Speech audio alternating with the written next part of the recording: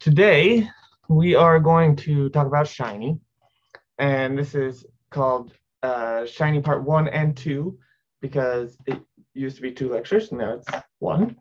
Uh, so basically, we're going to talk about the very basics of Shiny, and then we'll talk about Shiny dashboards a bit after that. Okay. Um, I uh, don't have a real good feel for how long this is going to last, which is a common problem for me. So um, we may not get through it all.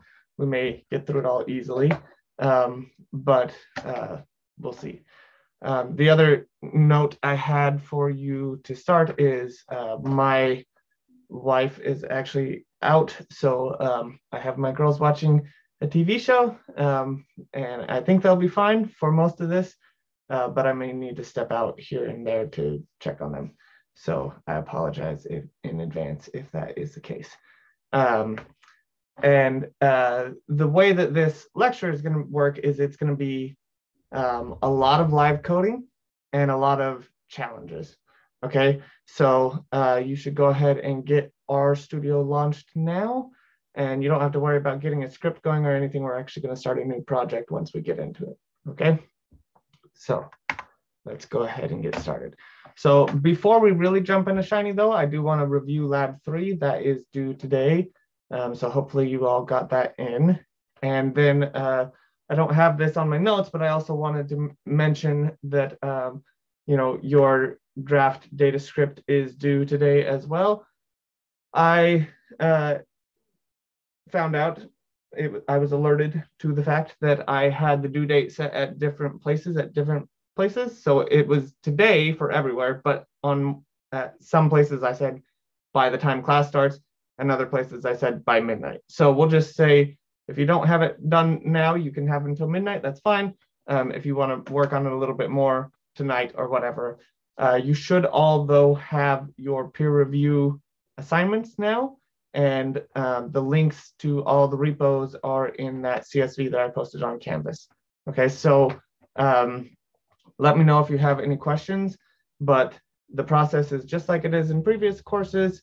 I'm expecting you to fork their repo, uh, then clone your fork, make changes, add embed comments, all of that sort of stuff, push your changes to your fork, then submit a pull request to their repo, summarize your, your review in the pull request text, and then they'll have the actual code edits that they can look through as well. Okay. Any questions with any of that? So peer review is due one week from today, I believe. Um, so that uh, then you have one more, I guess you'd have two more weeks. Is it due in one week or two weeks? I can't remember.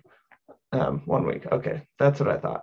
So uh, do spend a decent amount of time on these to make sure that you're really giving as much feedback as you can and that you're really trying to learn about their project, but don't spend forever, right? So I would say target somewhere around like 45 minutes per review. So an hour and a half total to conduct all of your peer review. Um, you shouldn't be su- spending significantly less time than that, but you shouldn't be su- spending significantly more time than that either. So if you find yourself at like an hour and a half and you're still on your first review, then just cut cut it short and say, you know, I've done um, what I can in the time that I've I've had or whatever.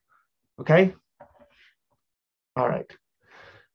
Okay the learning objectives for today, um, we are going to create a bunch of different apps. They're all going to be pretty minor, pretty small, um, but also uh, you have now, because I sent out the link to a repo that has all of the examples that we're going to be going through, okay? And, and then there's a few added complications to those as well. So you should have plenty of examples that you can look at. And of course, as you start to build up more more and more complicated apps, you'll want to go a lot further than what we're going into today, but this should get you started. Okay. And that's really the purpose of today is to get you started with Shiny. Like you're not going to leave this class being an expert in Shiny, um, but you can at least get started. Okay. So understand basic layouts and be able to create basic Shiny dashboards as well as basic Shiny apps. So there's Shiny and then there's Shiny dashboard. They're very, very similar, but there's small differences. We're going to go through both of them. Okay, let's, I will switch my share now and let's go to, oh shoot, where is it? There it is. Lab three. Okay, so this is the lab that is due today. And uh, it had two different parts, right? So we start out with foundations, briefly name and describe the three fundamental components of a function. So this is the formals, the body, and the environment. So the formals are the arg arguments that are supplied to a function. The body is like the inside of the function, what all the operations that are actually happening inside of the function. And then, then the environment is where the function lives. So this has to do with scoping that we talked about, um, where you know if you have a function that's inside a package, then it lives inside of that namespace. Okay. If you have a function that you wrote just in your uh, global work environment, then it will live in your global environment. Okay. All right. Three different ways functions can be stored slash applied and examples of when you might want to use each. So we have anonymous functions, which we've actually been using all term long. And those are usually used for functionals like purrr map or lapply, right? So you say like lapply, um, and then you have like L, some list you want to iterate over, and then you'd say function X, and then X becomes a placeholder for each element of the list L, right? When you're writing function X and then putting what you want it to do, that's an anonymous function, okay? Normally, I'd say the most common case is when functions are bound to a name, um, like we typically see with like LM. So anytime you're naming a function and then you have the parentheses, that means that the function is bound to a name. So the LM function, for example, is bound to LM. The mean function is bound to the name mean, okay, etc. Okay, and then the last functions can also be stored within lists. So you can have a list of functions, which is a sort of irregular, irregular use case, but it is a thing. And uh, it can be nice because sometimes you want to loop through a set of functions to apply to a single vector rather than looping through a vector to apply a single function. Okay, so um, that's the three. Any questions on any of part A?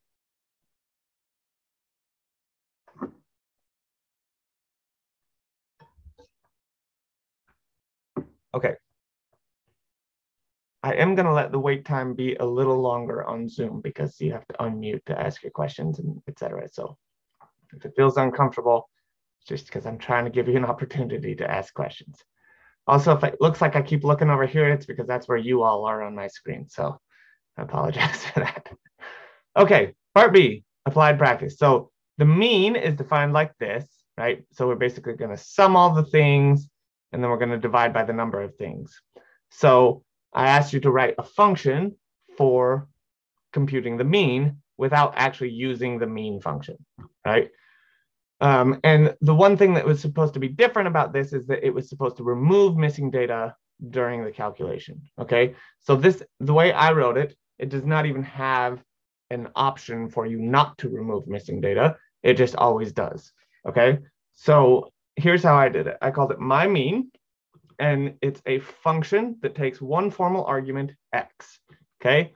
Then once we get into the function, the first thing we're doing is actually a check. So we're not actually doing anything initially, we're just doing a check. What is this check doing? What does that, what's that saying?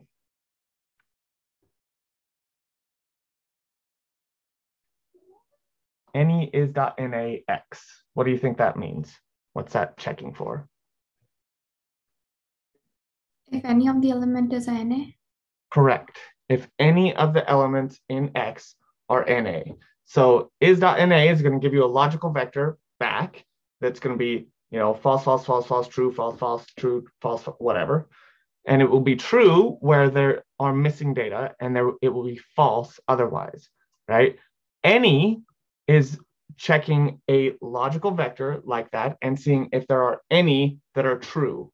Okay. So when you wrap any in is.na, it's going to say, is there one or more trues within this vector? And that is.na is looking for missing. So it's saying, are there one or more missing elements in X.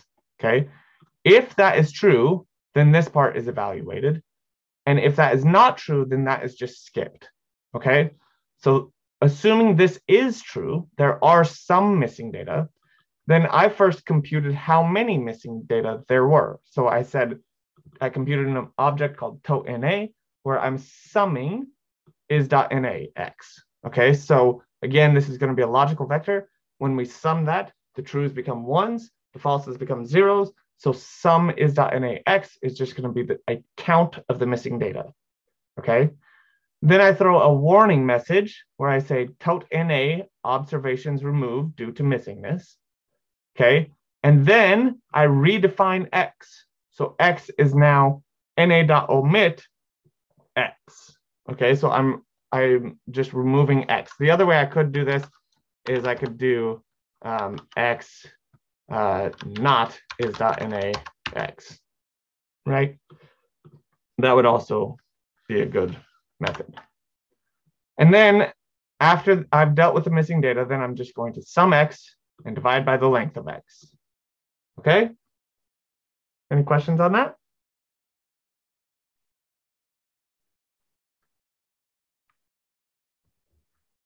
Okay. The next part was to test your function to make sure it A, provides the expected result, and B, gives identical output to base mean when na.rm equals true. Okay, so we'll look at my mean. Well, I got to define it first.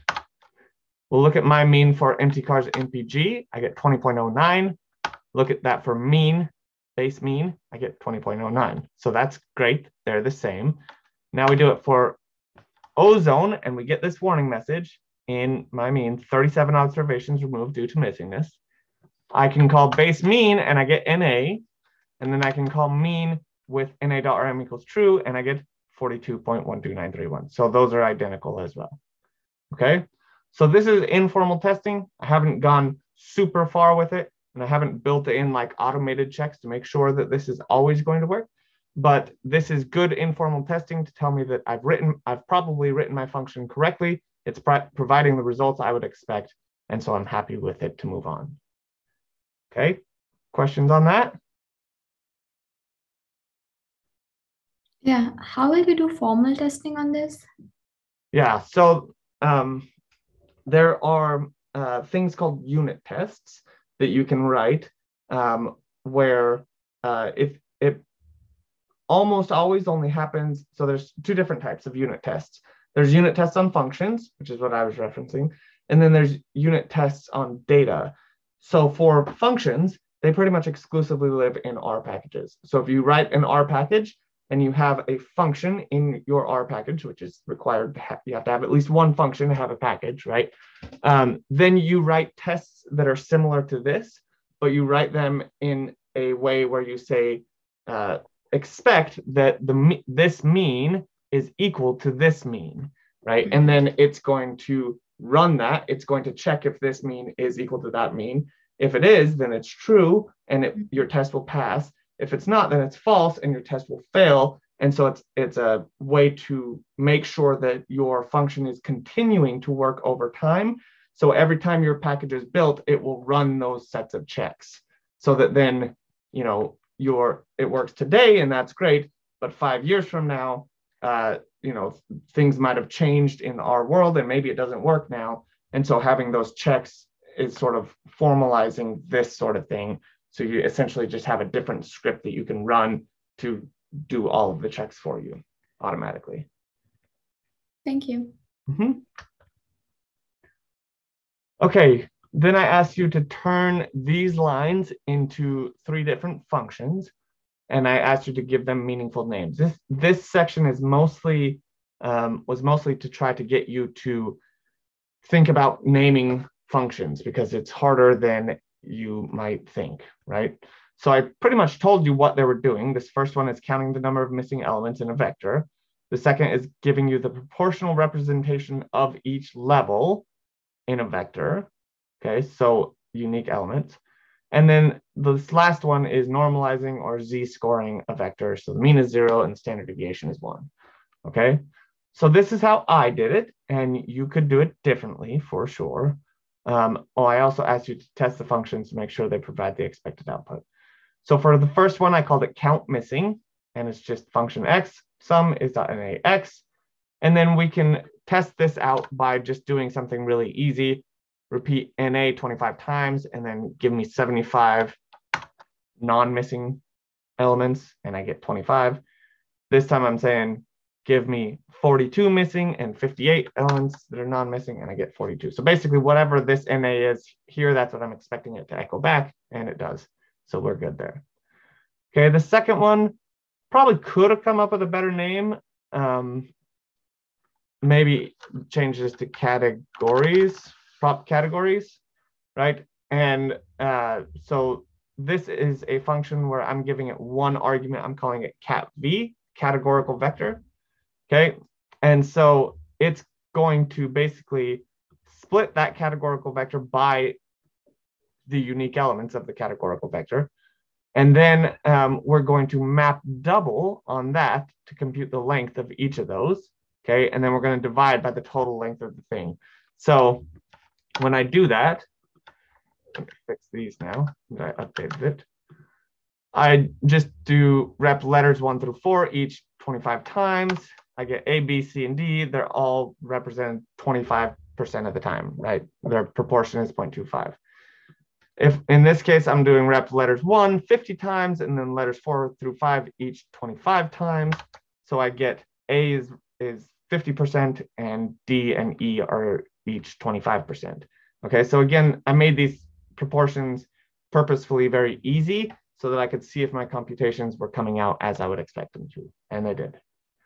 Okay, and then this last one, I actually broke it up into two functions. Okay, so this is the function I gave you. I would not expect you to do this, but I'm just showing you because I think it's um, nice. Basically, I created a function called fix missingness. Okay, this fixed missingness, if you look back at my my mean thing up here, it's just pulling this part out of it. Okay. So that's nice because now I'm finding two places where I'm using that function. And rather than just copying and pasting that in each function, I can just create a new function, which I'm calling fixed missingness, which just includes that. And then it's going to return X. Notice it still has that condition in there, because it's saying if any are there, then it's going to go through this and it's going to throw a warning. But if that's not the case, then it'll just return X. So if there's no missing data, essentially nothing will happen. It'll go into the function, it'll immediately output the same thing. Okay. So then for my standardize, I have it looking like this. X, I'm going to first fix missingness on X, and then I'm going to say X minus the mean of X divided by the standard deviation of X. So that makes it look a little bit nicer. Okay. Then I can test it. So I'm saying standardize air quality ozone, and then scale, which is the base function to do the same thing, air quality ozone, but I have to wrap it in na.omit because my version is already handling that by default, okay? So I do that and it tells me 37 observations were removed. Test standardize is a um, going to be a matrix so we can kind of scan through this and they sure look similar, but we can do an actual test of that where we call identical on test standardized one and test standardized two.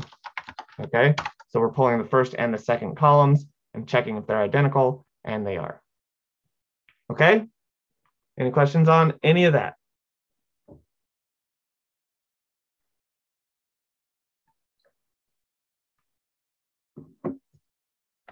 Okay, now we get to the little bit harder ones. Um, there are numerous ways to do these, and I chose to do them in a probably more complicated way than is necessary, certainly more complicated than uh, I asked you for, okay? Um, but I think you'll see why as we get through that, okay? So first, write a function that takes the data frame as its input and returns a data frame with only the numeric columns as its output. Um, I'm guessing several of you probably used um, select if is dot numeric on D, right? That's totally fine. Nothing wrong with that. I wanted to kind of replicate that behavior though with my own function. So the way that I did this is I have my df and I included an additional function as underscore tibble equals true. Okay. If I were to actually write this, I probably wouldn't have this like this. I would probably just return a tibble if they had tidyr installed on their computer and not otherwise. Okay. So um, basically you can check, there's functions that you can check if a specific package is installed. And so that's probably how I would do it. I would actually just not have this as an actual argument to the function, and it would just be contingent on whether they had the punk, had the package or not. Okay, Tibble. I think I said tidyr. So anyway, to start, I'm going to loop through the columns of the DF of the data frame and just call is.numeric. Okay, so let's um, check this out. So like one way to kind of informally build up functions, right? Because this is after the function is already built, but we can also test the functions like this. So I'm creating a thing that it has the same name as the argument, right? So I'll say GSS cat, uh, GSS cat, uh, wait, what was it? GSS cat? Uh, oh, wait, I think it's, um, maybe I don't have it here. I think it's down here. forcats, GSS cat. Okay. Um, yes, there it is. Okay. So I'll call it that. All right. So now DF looks like this. So we have some that are numeric, but actually most of them are not. Okay. And so I've called this thing DF, which means now actually I can just run this code right within the function. So map LGL DF is dot numeric. You'll see we get this logical vector in return. So year is numeric. The rest of these are not until we get to TV hours, which is, oh, and age is also, okay? And so then all I have to do basically then is just take the data frame and say, give me all the rows for these columns, okay? These columns being where num is true, and that's what I get, okay? So if it's as Tibble, it's gonna return Tibble as Tibble, df num, otherwise it's just gonna return as data frame num. Okay. All right, so then we can test this out and we see it works well. Questions on that? Okay, now this one was actually the one that I made considerably more complicated. Partly I wanted to show you other additional functions um, that you can use, okay? So uh, one of them I'm mentioned, I had mentioned just verbally in class before. It's called purrr quietly. Okay, so we have my mean, right, which has, which we did up above, and it has this warning in it. Okay, and so we might want to actually use that warning to essentially extract this to NA thing. Okay, so um, let me see here.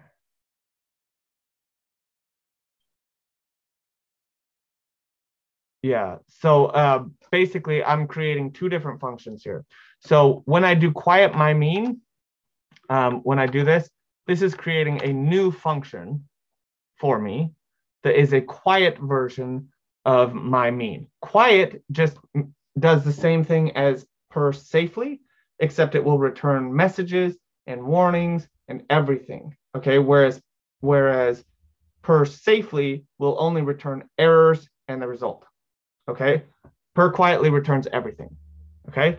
So we have that. Now we're gonna use our extract numeric df on df, okay? This is gonna give us our numerics, okay? So that looks like that.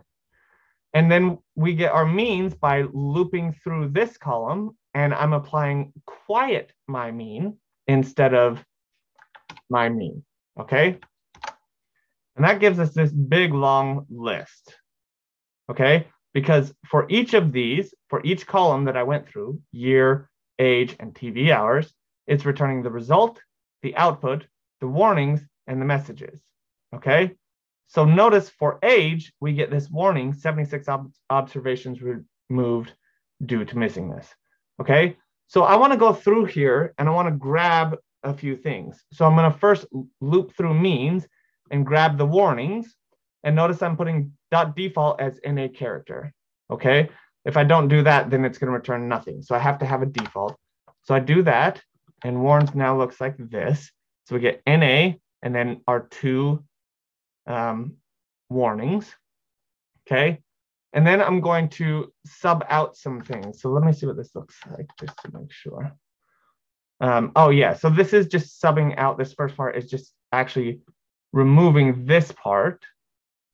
Okay, so it's it's saying it starts with a digit and then it goes on to um, have a space. That's what this means, a space, and then an O. Okay, and then we're going to replace that with a capital O and then the rest of the stuff. Okay, so basically I'm peeling off the numbers there and then I'm saying, okay, what's the unique ones there? There's only one unique um, missingness or one unique warning there, but uh, many of the warnings had different observations, okay?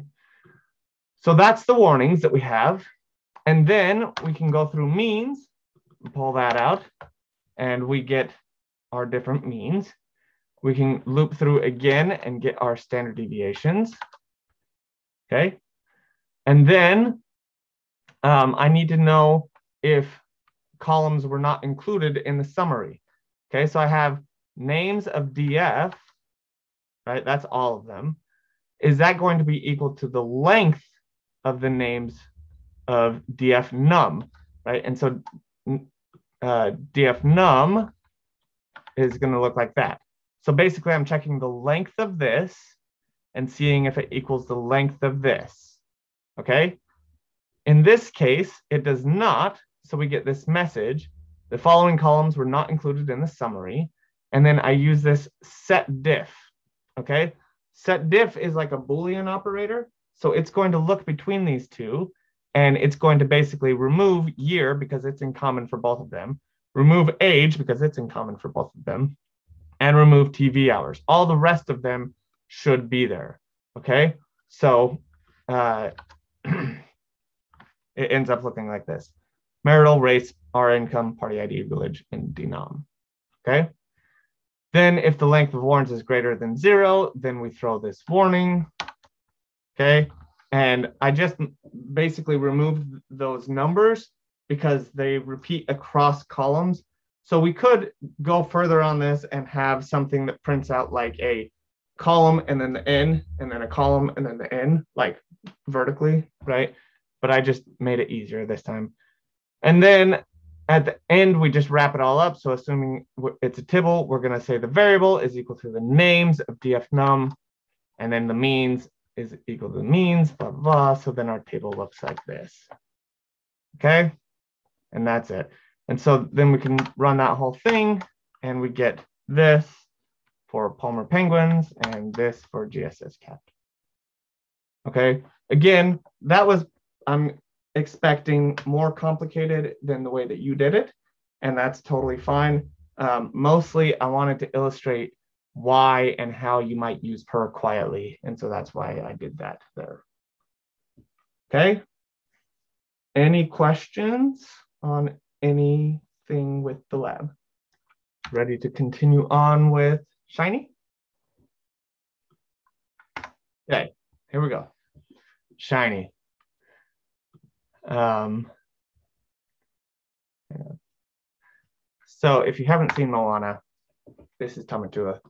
Um, it's required in my mind to make this joke about shiny. If you're talking about shiny, if you have kids, um, this is a very good song, and he's very good. The basics. Okay, I asked you to get RStudio up and going before. Hopefully, you've done that. What I'd like you to do now is to go ahead and create a new R project, and then we're going to select Shiny Web Application. And then we're going to select the directory and then just do create project. Okay, so let's go ahead and do that now. I will come back over here. So basically, I'm going to come here to create a new package. Um, sure, I'll save it. Why not? It's going to say new project.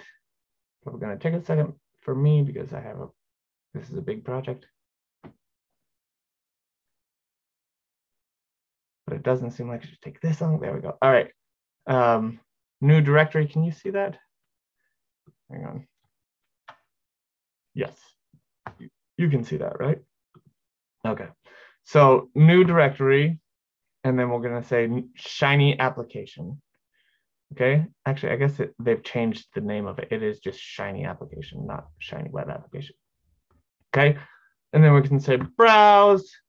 I'll put mine on my desktop. You can put yours wherever you want.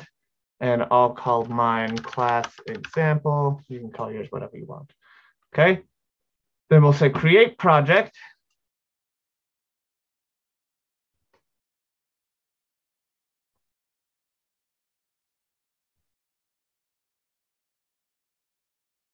All right. And this is what it looks like. It should still take it. It's just my computer's being slow. I don't know why it's being slow. There we go. Okay. So it's actually starting now. This is new. It's starting with a renv lock file.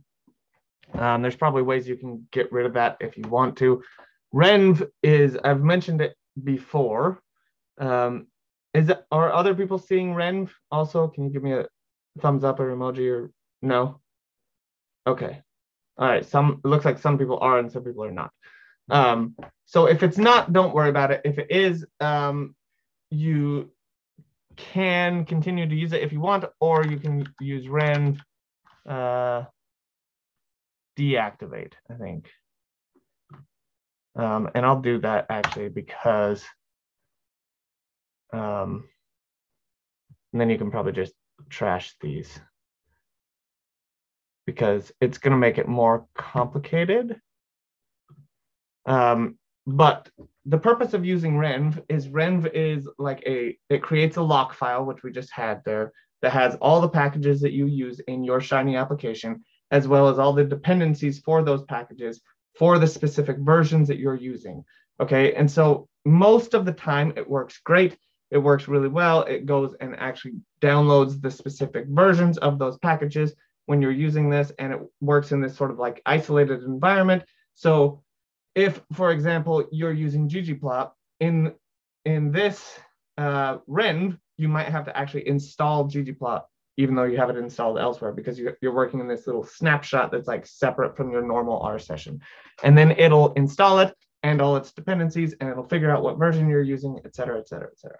Okay, so uh, then theoretically, if I did this all in renv, I should be able to push it onto GitHub. Somebody else could pull it down and then they would just say renv restore and then it, it would go and get all the same package versions that I have. Okay, the reason it ends up being uh, overly challenging at times is because occasionally those old packages end up having like installation issues and then everything just kind of breaks. It's not super common, but I have had that happen before. So, um, and it, yeah, tends to happen more on Windows, I think, than Mac, at least in my experience. But uh, that could just be the packages I'm working with. I don't know.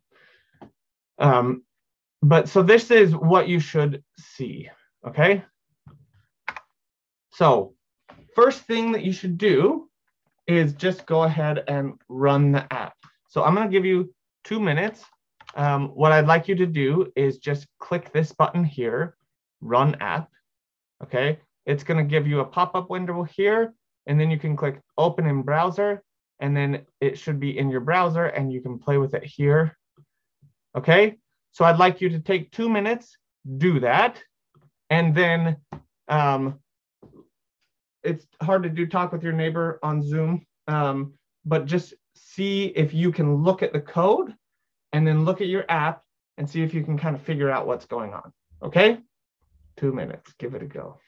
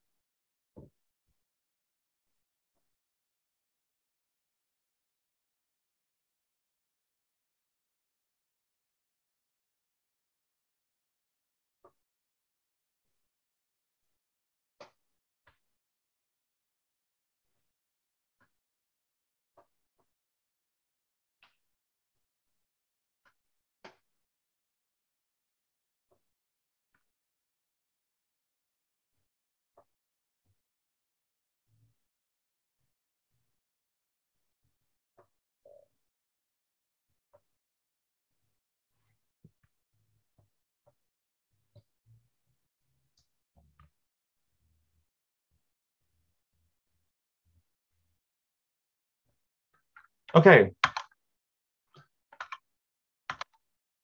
So, any ideas what's going on here?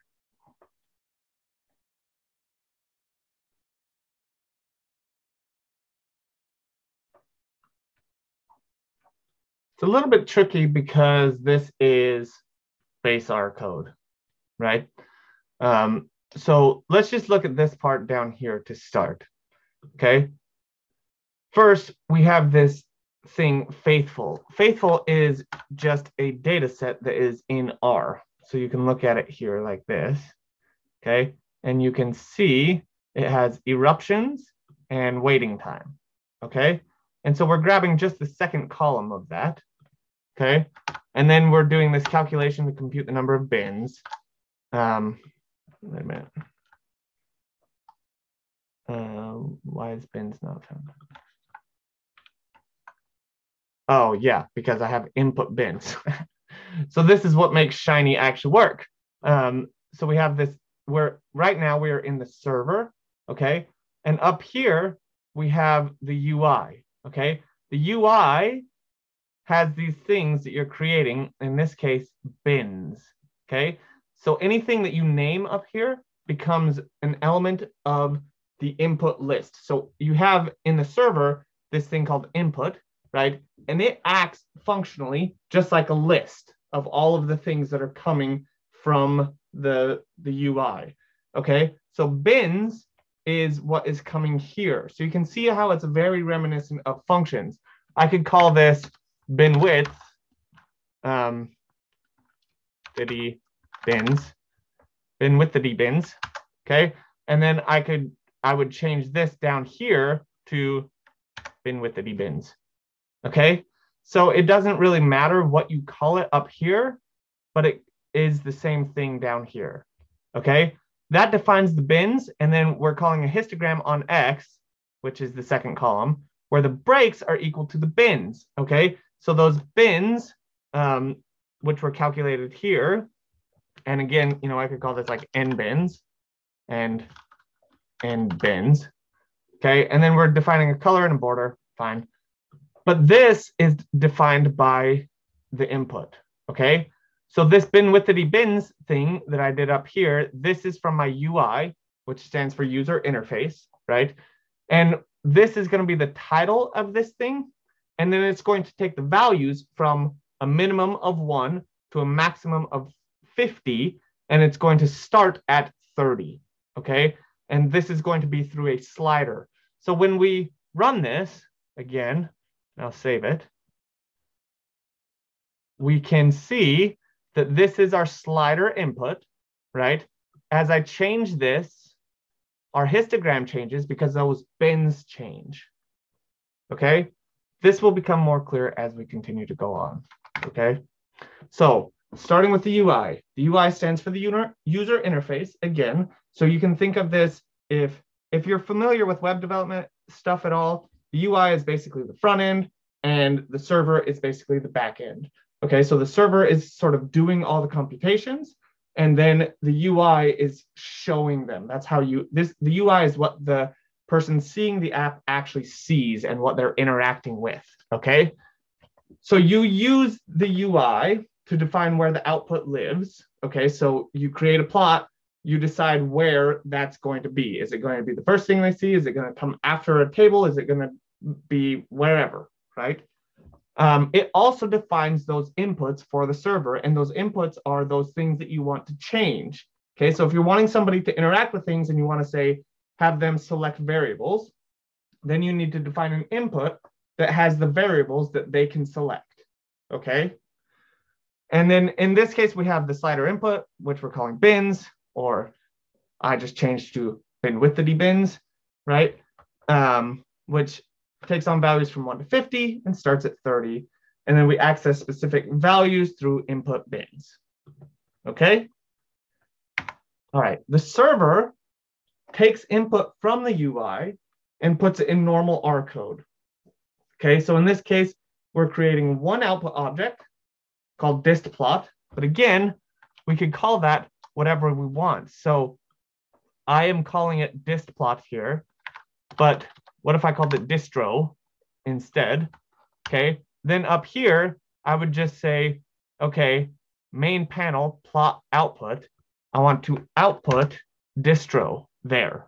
Okay. So we have this sidebar layout. We have a side panel which has this slider input. And then in our main panel, we have this plot output, which is where we're saying distro is going to live. Okay. And distro is defined by output dollar sign distro. Okay. So if we say had a table, we would have output dollar sign table and we would just define additional. So output ends up being just a, another list. Okay. So we have an input list that goes to the server and then the server does the computations. And then we have an output list that goes back to the UI and that's where we define where everything lives. Okay. And so you can call these things on the output whatever you want, just make sure that you're storing them in the output list. Okay, and it's technically not a list, but we can think of it as a list. Okay, all right. Um, so we're creating one object, which we're calling this plot or distro or whatever, and the result is then called on the UI on line 30, which I just showed you. So let's try removing lines 39 to 44. So um, 39 to 44. So basically all of this stuff. And then um, we're going to re uh, replace it with input bins, okay? So I'm, I'm gonna just say print input bins, except it wouldn't be bins, it would be bin with the bins because we, that's what we defined it up here, okay? All right, so given that, and given that distro lives here, what would you expect that this is going to do?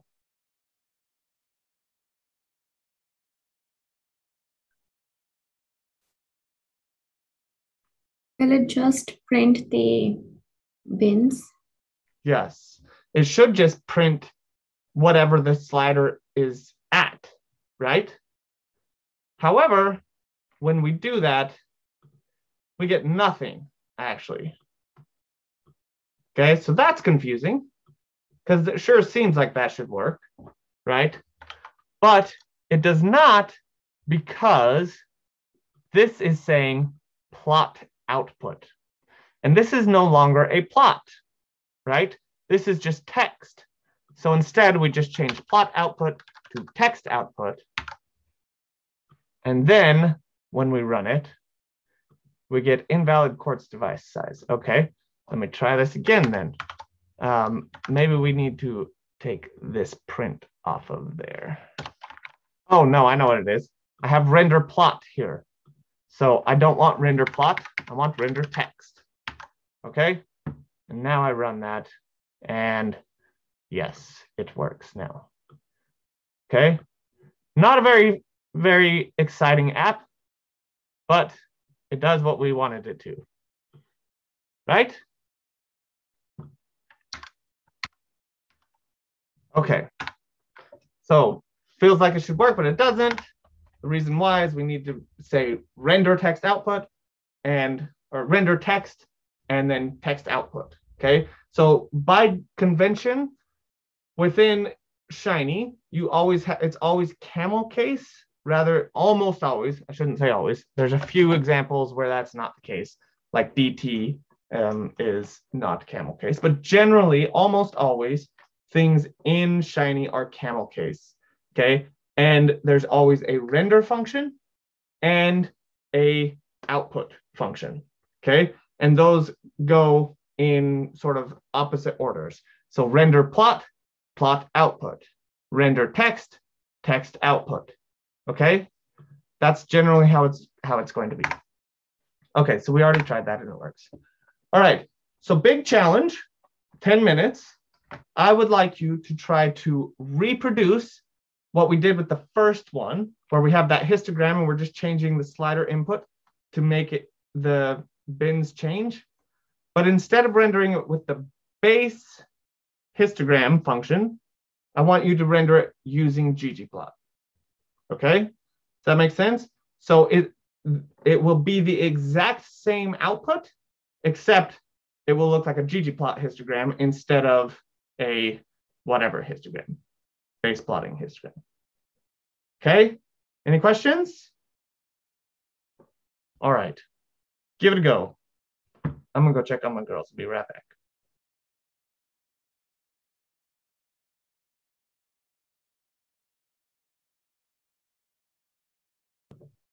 All right.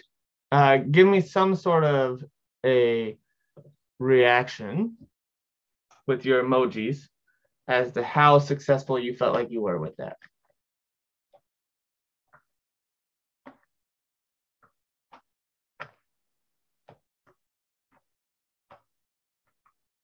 Okay. Pretty good. I'm feeling feeling good about that. Okay. Um, I'm gonna switch to ggplot or to ggplot to R now, and I will show you uh, how I would do this. Okay. So the first thing that I would do, get rid of this stuff. You always have to have shiny, but you also now need ggplot, ggplot two. Okay. So that's the first thing.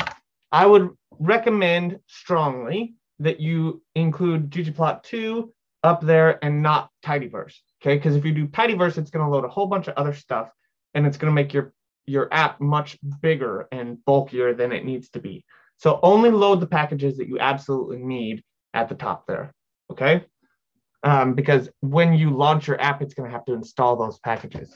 Okay, so then we have our bandwidth down here, and then in this part, we're going to do our distributions. Okay, so we're going to we're going to create a distribution for um, uh, what was it called? Faithful, faithful. Um, for the second column, which was waiting. Okay, so the way I would do this is to first do this outside of the Shiny app and then we'll work with it inside the Shiny app. So this is very much like building a function.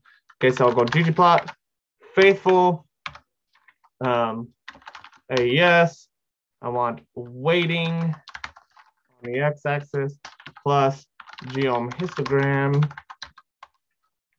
And then if I really wanted to make it look like the other one, I could also do, um, let's see, it would be color equals white and fill equals, we'll do like gray 60. Okay, and then I'll go plus theme minimal. Okay, so that's that. And then to control the bin width, right, I just say, um, let's see, what, what is it? I can't remember. It's going to be, um, there's bin width, but bins, that's what I thought it was. So we're gonna go bins equals, let's go 20, right? And we get that, or we could do 200 and we get something that doesn't even make sense, all right? Or we could do two and we get that, okay? So that's the one that we need to change. So this is basically it. That's what we want. I'm gonna bring this down here and put it inside my output distro thing. But then all I need to do now is change this bins right there to input dollar sign uh, bin with the bins. Okay. And then because this is getting a little big now, I'll probably do this.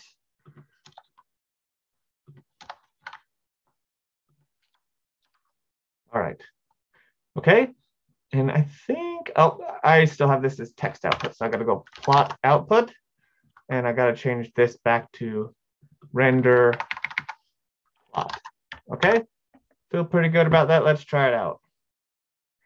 Run the app, and there it is.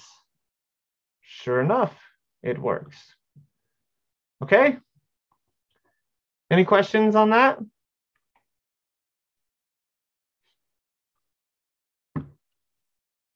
Great. Okay, Changing the input. So let's say instead of a slider, we want five options, five discrete options, one, five, and 20. Okay. Oh, one, five, 20, 50, and 100. Okay. Instead of having the slider input, we can change it to something else like, say, radio buttons. Radio buttons are a good choice generally when you have a um, when you have discrete choices like that. Okay.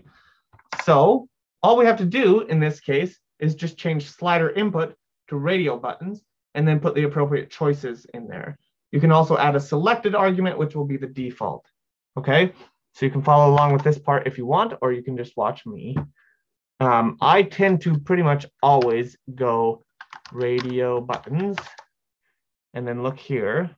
Okay, and up here where I have slider input, I'm gonna just change this to radio buttons. Okay, and then um, I tend to like to do things like this. I could label this if I wanted to. Input ID is equal to that. And then the label is equal to that. So this is like the title of it, right?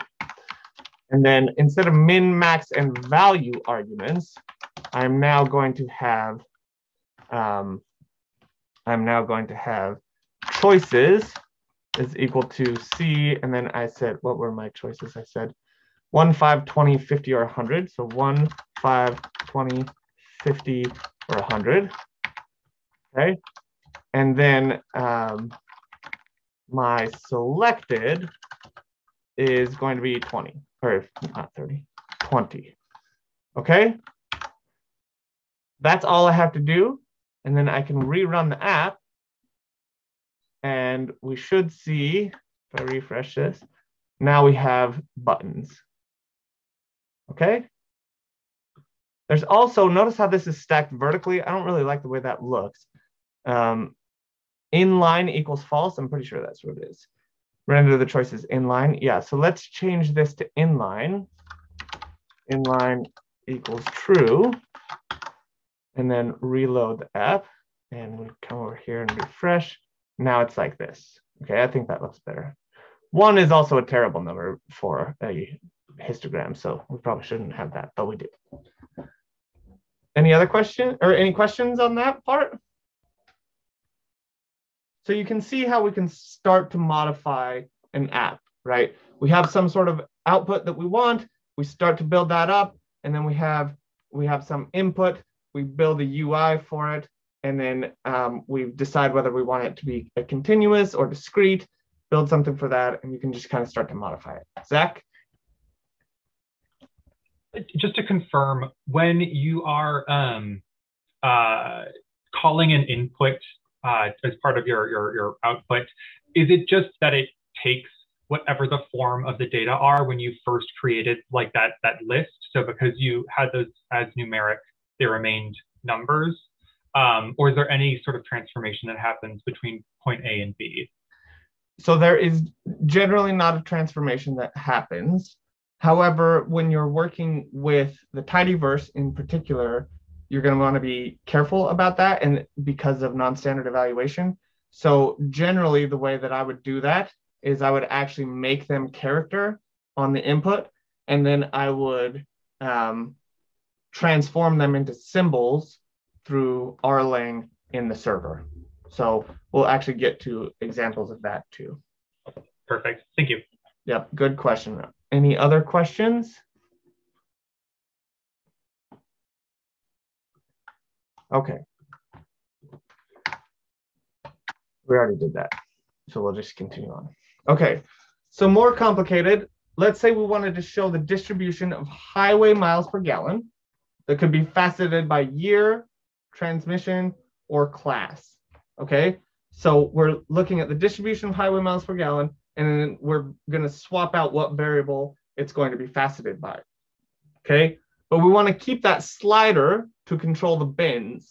All right, and then we're going to use radial buttons for the variables and that slider input for the bins. Okay, so we'll need to create a second entry for our UI. Um, and we're going to use the MPG dataset for this. Okay. This is pretty challenging, um, but I didn't let you practice on the last one because I messed up. So do you want me to set the timer for five minutes here and you can try to do this on your own? Or would you like to me to just demo it? Give me quick emoji thumbs up for you to try, thumbs down for you not trying.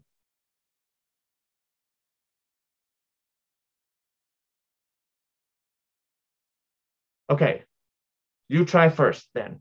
Um, so uh, one more time, um, because I'm, I need to go back to my other slide to get the, the thing, but you can look on, you should have access to these slides. facet by variables, keep the slider input there for the um, the number of bins. Okay, so you'll have to create a second UI, but you shouldn't have to modify anything in your server. Okay, all right, five minutes. Go ahead and try. All right, hopefully you were able to get most of the way there, if not all the way there.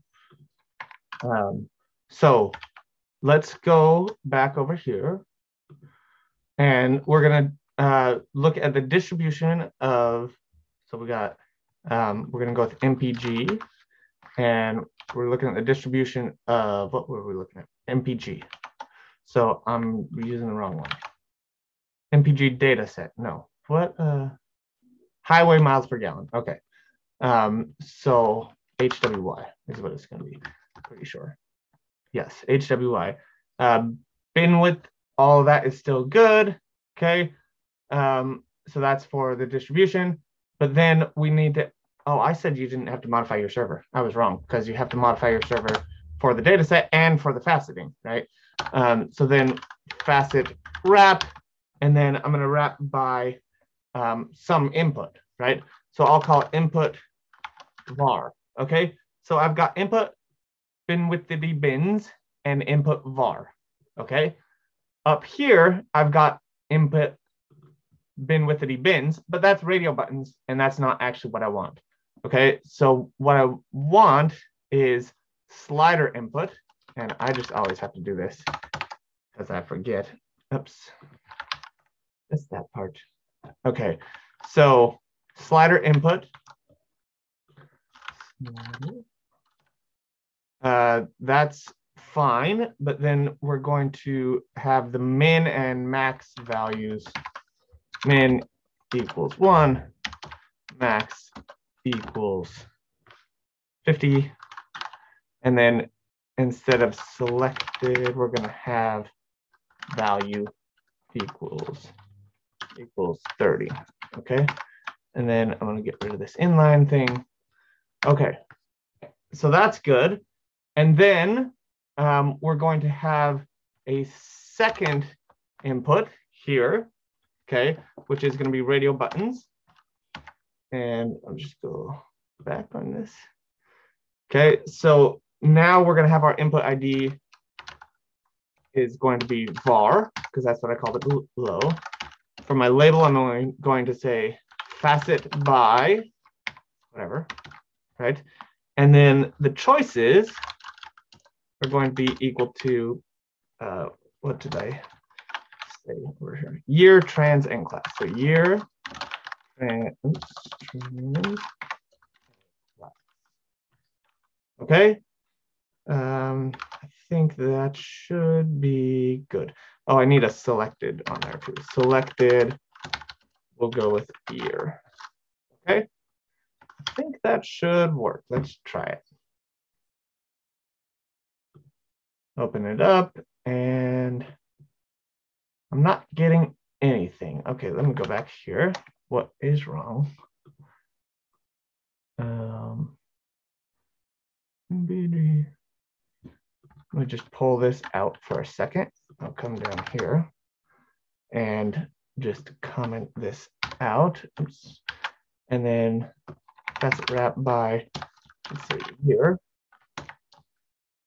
Yeah, that works. Oh, but I need to do plus. I'm missing a plus. That's all it is. Okay, so because theme minimal was the last thing that was actually being on there. Okay, so now I can get rid of this part save, and then run my app. Come back over here, refresh, and there we go. So now they're both set to 30. Now that's changing both of them. Click trans, that swaps that. So everything appears to be working. Okay. Questions?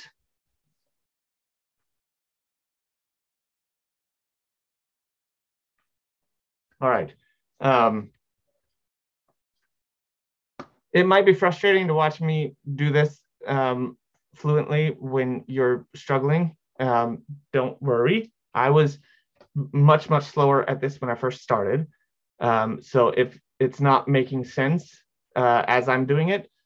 Don't worry, you will get there. It just takes practice. Okay. All right. Other little minor changes you can do, you can change the uh, size of the plot and um, sort of the, the whole thing. So if I look here, this is my side panel part right here. So I can make that bigger or smaller, and then I can change my output uh, plot height too. So coming back over here, and on my side panel, I can say width equals, let's see, is it in inches? Uh, I'm not sure what unit it's in. Um, let's see if we can find out real quick. Sidebar. Oh no, I want sidebar panel, not letting. Um, width equals four, but what is the units? Width of the sidebar and main panel, by default, the sidebar takes up one third of the two thirds. It doesn't tell us what the units are. So I don't know what they are. Um, but we can just mess with that number anyway. Okay, so I've changed it to two. That should make it smaller, I believe. Um, refresh, yes. See how much smaller that is now? So that's kind of nice. Um, and then I can change my plot output height too. So back here, just in your plot output, change the height. And this one you can see it is in pixels. So plot output height equals 800 pixels, put that in quotes. And then refresh. And refresh. Boom, much bigger. These lines or these labels are all tiny though. We should also probably make those bigger too. Right, so I could do that through down here. base size equals, let's say 25. Okay, reload, refresh, much better. Okay. All right. Tables.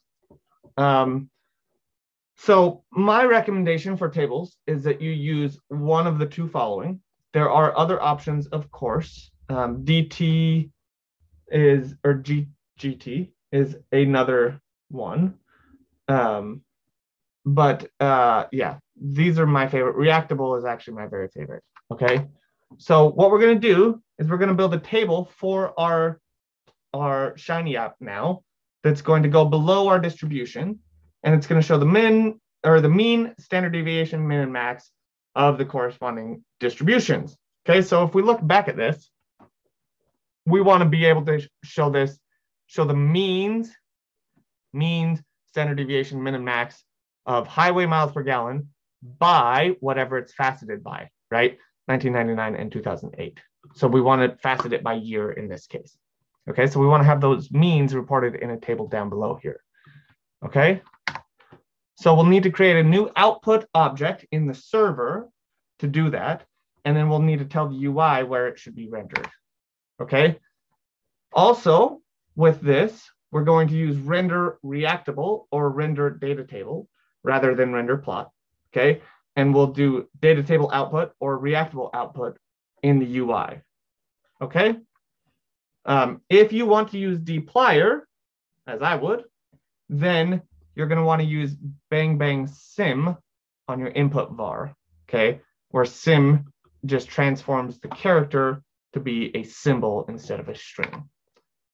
Okay? Do you want to try on your own again, or do you want me to just demo? Thumbs up or thumbs down, please. Thumbs up for you trying.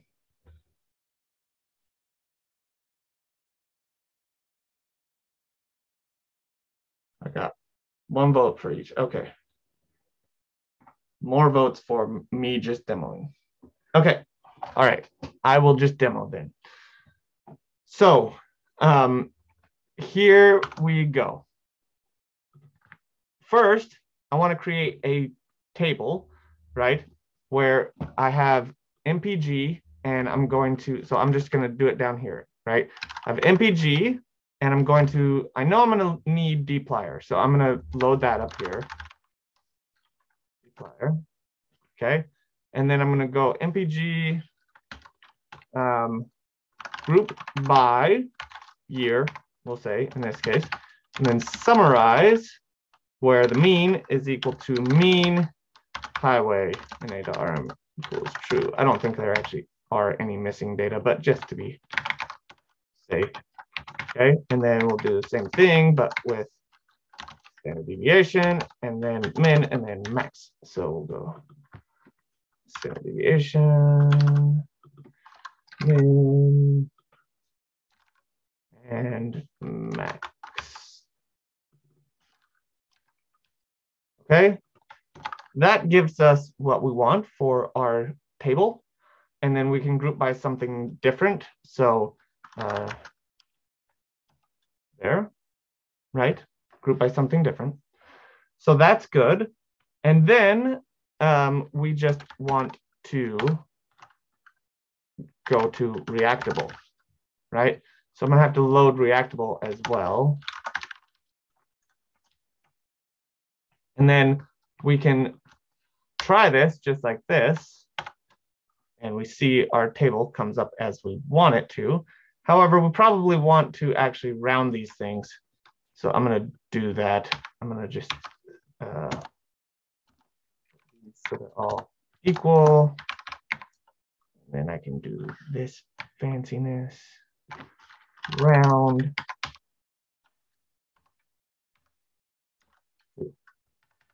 places.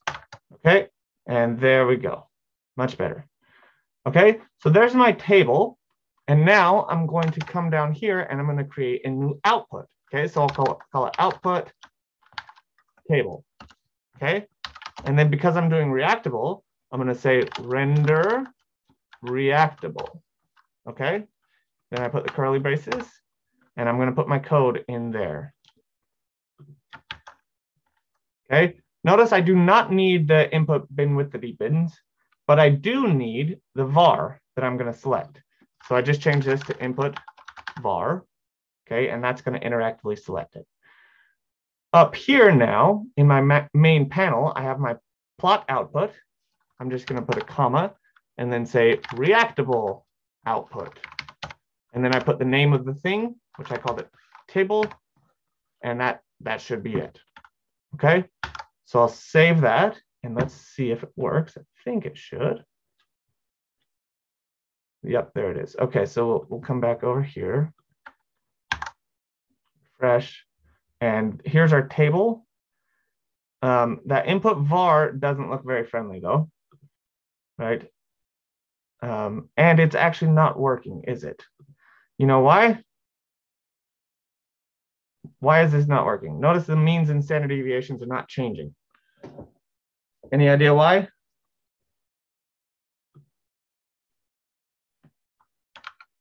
Let's look back at it. It's down here. This is where our problem is. Any idea what's going on there? We may have to do non-standard evaluation. That's it. So we're going to go bang, bang, sym on the input var. And uh, that should be all we need to do. Come back over here, refresh. And there it is. Now it's perfect. Trans. Pretty nice, right? We have a pretty nice Shiny app now that we've developed here in like an hour, I would argue. I mean, the actual content isn't that exciting, but the layout and everything working is pretty neat. Any questions on this? Okay, we're gonna do one more thing before we do our, before we take our break, which is we're gonna change the layout, okay? So instead of having a table below, let's say we wanted it within a tab set. So there's two tabs, one tab for the plot and one tab for the table, okay? To do this, we modify only our UI and we're gonna use tab set panel, okay? Um, and this is tab set panel goes within main panel, and then we're gonna put each of our things within tab panel after that, okay? so coming back here, we have up here in our main panel, we'll go tab set panel. Okay. And then we'll have uh, tab panel plot output, comma, tab panel, and then we put our reactable output.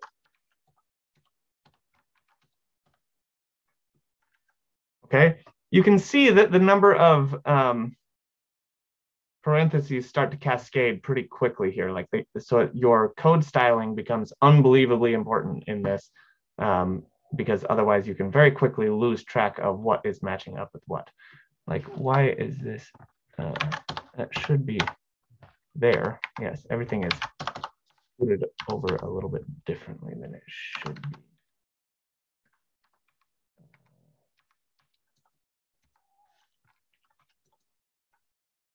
Um, wrong too. Whatever. I'm just gonna keep it. Okay, so go run. And yeah, so I do have something wrong here. Um, so let me, let me see here. What's going on? tab set panel within the main panel, then put down tab panel. That's what I have, right? Tab panel. I feel like I've got something messed up with my parentheses.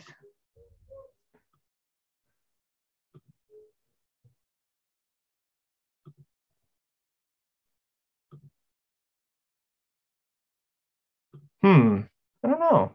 It looks okay to me. Um, well, this might be a case where I need to go, oops, that's not gonna work. I might need to go open up my one that works and see what I did differently because, uh, okay. Main panel, tab set panel. Oh, I have titles for them. I wonder if you have to have titles. Maybe I should have put that in there.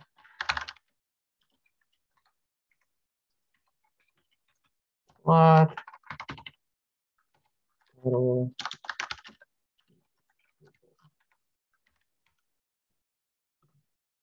That's it. How annoying is that?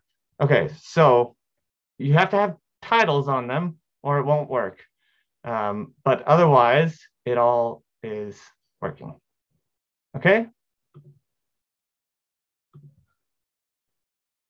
Kind of neat, right? There is also, um, uh, there are also ways to, oh, that's the next thing we're going to talk about, I guess. Okay, so we're going to continue on with this. There will be more challenges and things. We're going to switch to Shiny dashboards here in just a little bit, which are very similar, um, but just slightly different. Okay, they're only really different in terms of the look and feel of, of them once they're done but in terms of interacting with them, they're very, very similar to just standard Shiny. Okay, so we'll take a break. Um, think of questions while you're on your break if you want to, and come back and uh, we can chat about whatever you might be confused about. Okay, so we'll see you in five minutes.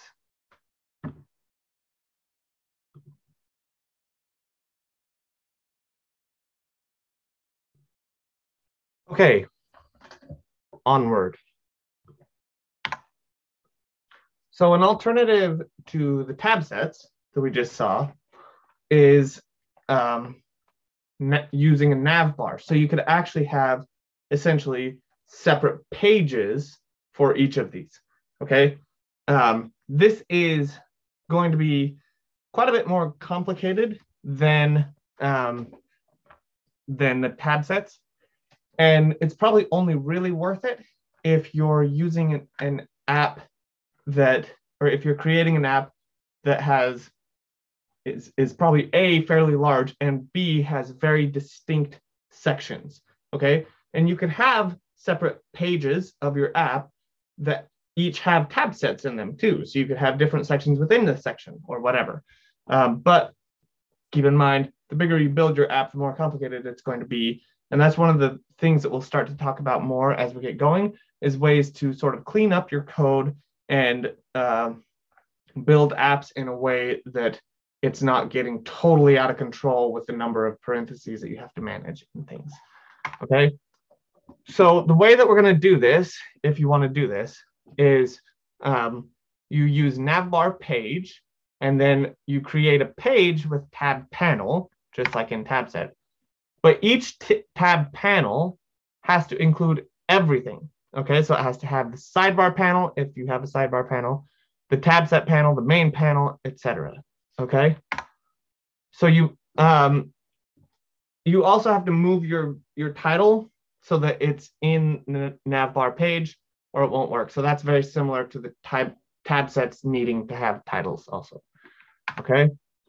Um, also, if you have multiple pages, you can't share input IDs across them. So if you have an input ID that is uh, doing the same thing, you just basically would call it like, you know, bins one and bins two or whatever you're going to call them. Okay. Um, we will, let's look at one of these, but I'm going to not uh, try to live code this because it ends up being a lot.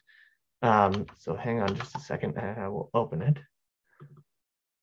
So here it is, right? We have navbar page. Here's our title, highway miles per gallon. And then we have tab panel, and the first one is called plot. Okay, then we have our sidebar layout. We have our sidebar panel. This is where we have our slider input and our radio buttons. And then we have our main panel and our plot, plot output. Okay, then we have tab panel again, and then we have um, another title and then we have sidebar layout, sidebar panel, radio buttons, and then we have reactable output. Okay. Notice though in this one we have um, we have bins var and var2. Okay, so this is what I was referring to before. Then down here below we have dist plot and dist table. On dist table, I'm using input var2 instead of input var as I am on this plot. Okay, and so when we run all of this, it looks like this. So here's our number of bins, right? And our faceting, which is all good. But up here now we have highway miles per gallon here and we have plot and table. Okay, so with again within here, you could have all sorts of different stuff, but it gives you like a full page for each of them. Make sense? All right. Probably should have done that before the break.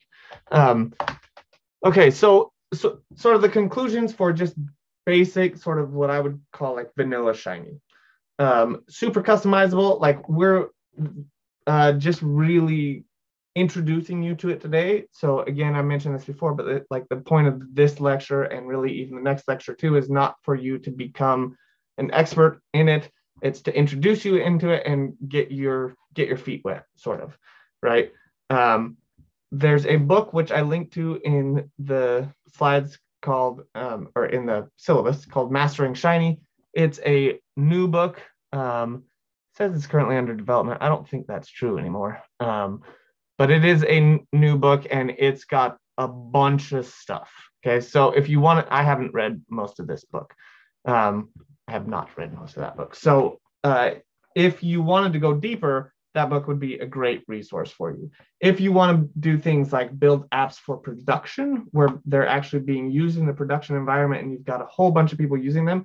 So, for example, let's say you're running a study and that's, that study has um, 200 participants in that case, that's small enough that you, and so you want to maybe use a Shiny app for something that they're interacting with. In that case, it's small enough that you could probably get away with just the standard Shiny practices that I'm kind of talking about here. But if instead, let's say you graduate and you go and work for a company and uh, they want to use Shiny to show off some of their data to their customers, and you've got thousands of users per day, then that's going to be a totally different thing. And so you're going to want to build um, your app very differently. Okay, there's a book called Shiny in Production. I can't remember what it's called. Um, let's see, what's the guy's name? I think R is the company he works with. There it is. Colin Fay, that's who it is. Um, engineering production grade Shiny apps. So this is a good uh, a good resource for that sort of thing if you get to that point. Um, but this is like several levels beyond where we're at currently. Okay. All right. Um, the other thing is, uh, I sort of mentioned this just a second ago, but your apps can get very complicated very quickly. So one of the best ways to do to fix this is to just pull out bits of code and put them in different scripts, and then you can source those scripts. Okay. Um, so not everything has to live within the same thing. Okay. Um, I think we'll have some examples of that later, although I'm not sure there's any in the apps I sent you. Um, okay, good enough. On to Shiny Dashboard. Unless there's questions, I'll pause for a second. Are there questions before we move on to Shiny Dashboards?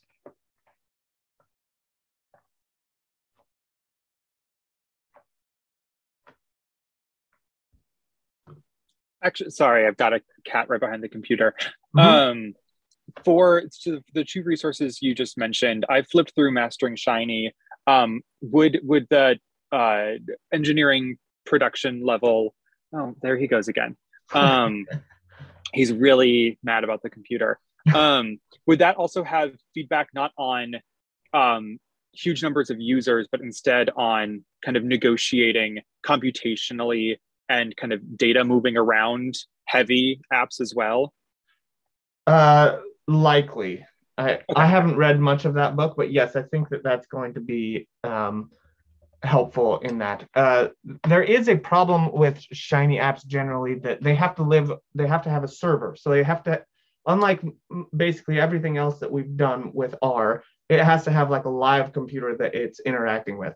And so when we're building them just locally here, it's actually using our computer and that R session that we have going is live. And so you can, you can't actually do anything else on your R session while it's running.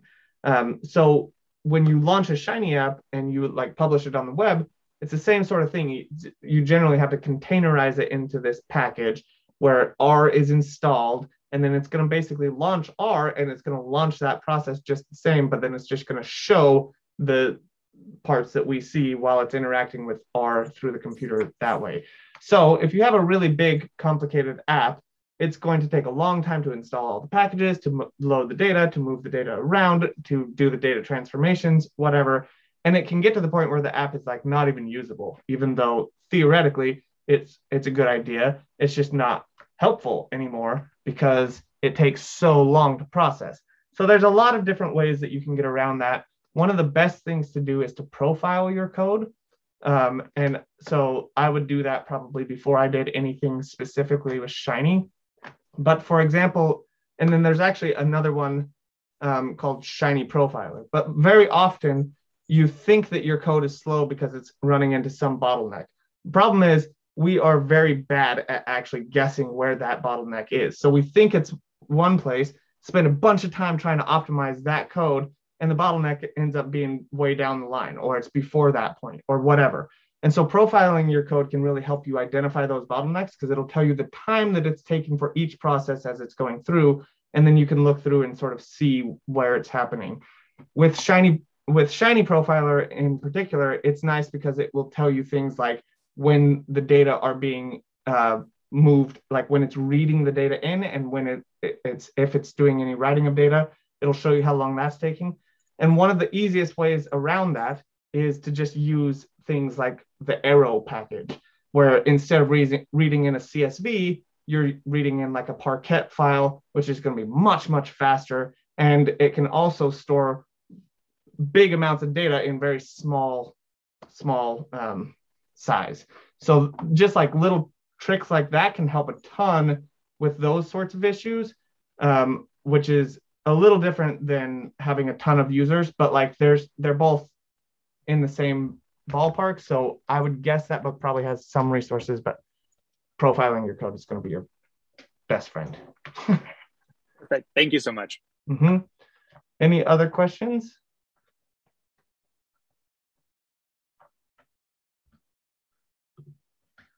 Okay, off we go then. So what I'd like you to do now is um, unlike Shiny, there is no just like uh, default template that you can get for a Shiny dashboard. So if you are on the slides currently, you can just copy this code and I would like you to go ahead and do that. Do this in a new script so you're not like wiping out all your, your old stuff, unless you want to, it doesn't matter. You'll have access to all this stuff after.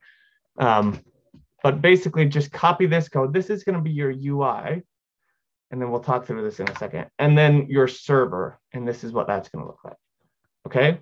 So I'll do this to copy that, and then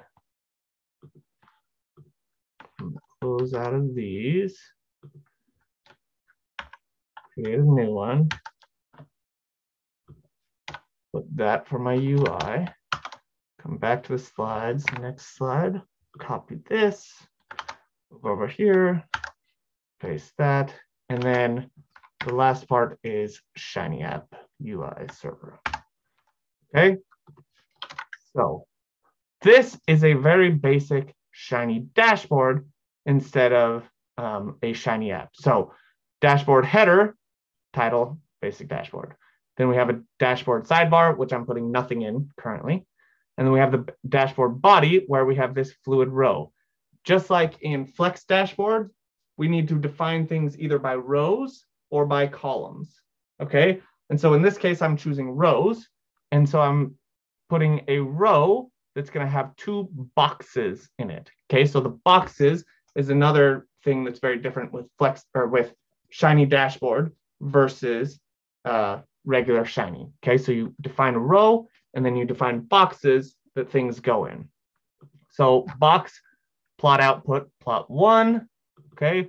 Plot one is coming from down here where we're rendering a plot where I'm getting histogram data and then I'm plotting a histogram, okay? And so we're putting a plot there and then we have a second box, which I'm titling controls, and it's gonna include the slider inputs and uh, it's gonna say the number of observations, okay? So when we run this, uh, I gotta save it first. Um, so I'll call it dashboard. Okay, now I get this run app button because now it knows it's a Shiny app.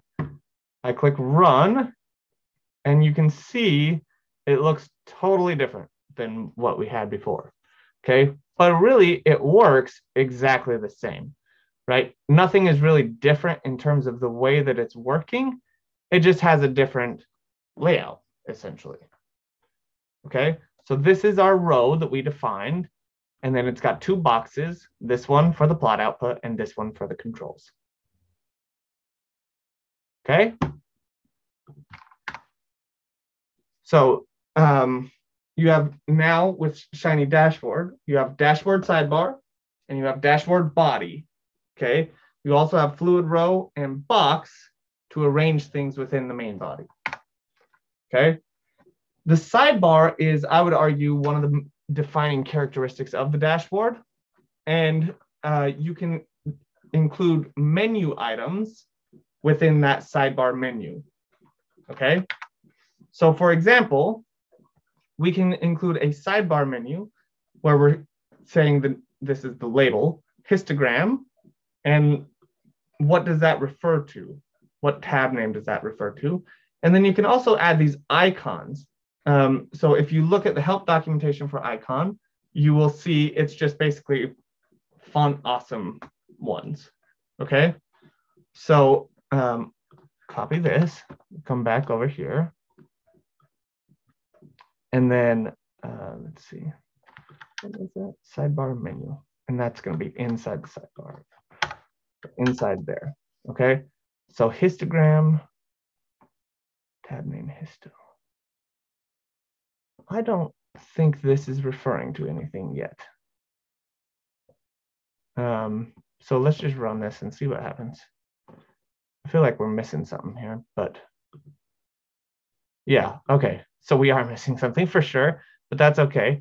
Um, you can see we have now buttons here that are doing nothing because we, we aren't defining them to be anything.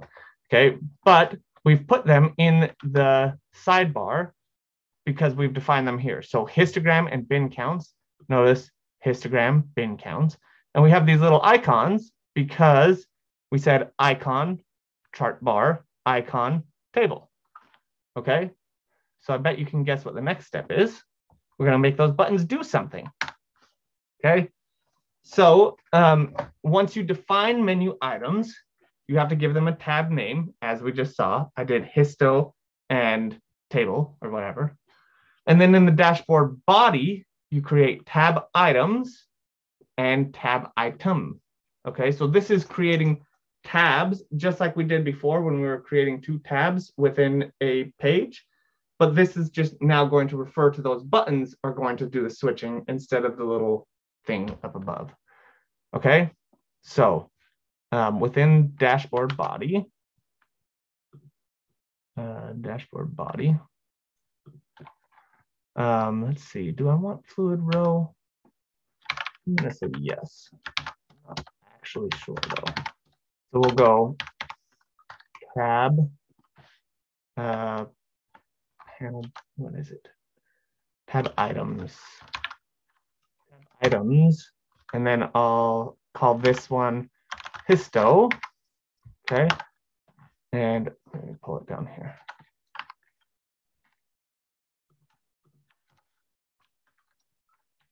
histo. And then I'm going to put that uh, block box. I probably need the fluid row in there too. Fluid row box. Uh,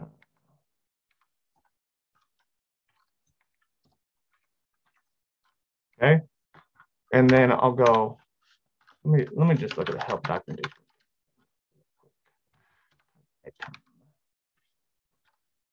Oh, whoops. tab items here, but then I need tab item.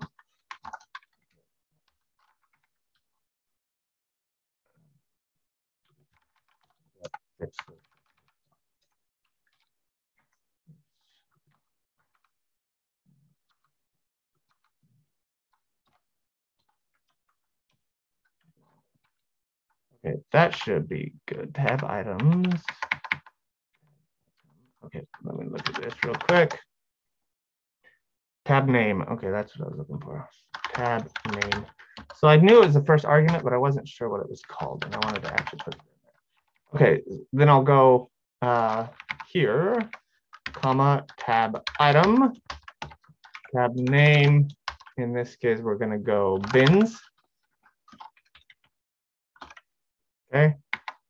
Oops, that's not what I wanted to do tab name equals bins. Okay, and then we'll go fluid row again, and then box, and then uh, controls. I'm just gonna put this. Um, yes. Okay, let's see if this is gonna work. I'm not feeling super confident about this one, but we'll give it a go. Um, notice I'm checking all of my parentheses. I think that is good. I'm not 100% sure if I need fluid row in each of those. But let's see. Yeah, so there's my histogram and here's my bin counts.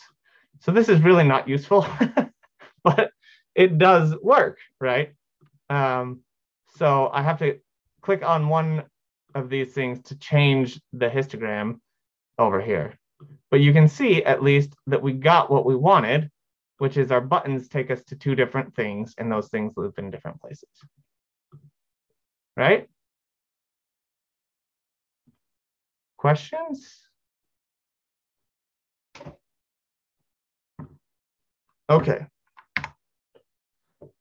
Another thing that is neat is that right in the sidebar, we can actually put our controls. So um, it's a little bit less than ideal to have a, a, little bit, I'd say a lot of it, um, less than ideal to have the slider separated in this other tab. So instead we can put it right in the sidebar.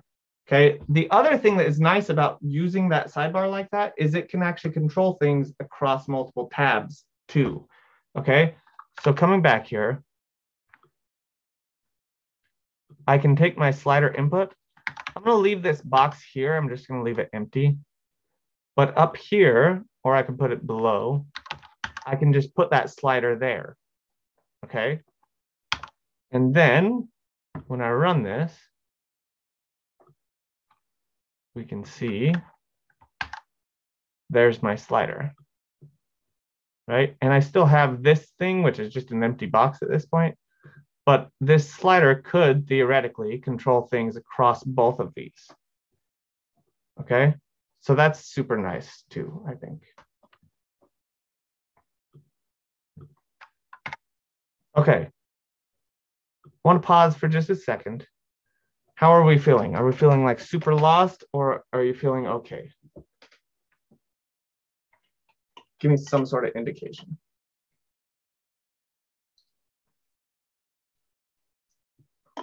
All right, good. Errol gave me a mountain. I'm not exactly sure what that means. okay. So, more complicated. We're going to switch data sets. We're going to go to the forcats GSS cat um, one that I saw I used before. Okay, we're going to put plots on one page. We're going to put a box plot with TV hours on the y-axis, a count, uh, another plot with counts of x variables, and then another plot with the proportion of x variable. Okay, um, I'm saying x variable because I want to be able to select what that variable is. Okay, then we'll have the table on another page and we'll be able to select the variable for the x-axis on the sidebar. So whatever this x variable is, that's going to be on the sidebar. Okay. Um, and then the variable selection should produce table of means by the variable. Okay. I would, um, I know this is, hmm, I'm going to give you a couple of minutes to try to get started on this one. I'm not expecting that you'll be able to get all the way through, but I'm going to give you seven minutes. Okay. I'm going to give you seven minutes. I'd like you to get as far as you can with this. Okay. Um, again, I know that this is challenging, but uh, if you've been following along, which is, is no problem if you haven't, um, but I would love uh, if you could try to um, get the two pages going. So a button uh, that goes to the two pages, and then start to put together the plots on one page or the table on the other. Okay, one or the other, you can choose. If you get all the way through in seven minutes, that's amazing. So good for you. Um, but I'm not expecting that. Okay. All right, so I'm just gonna set the timer on my phone because I don't have it up there. Okay, go ahead and go.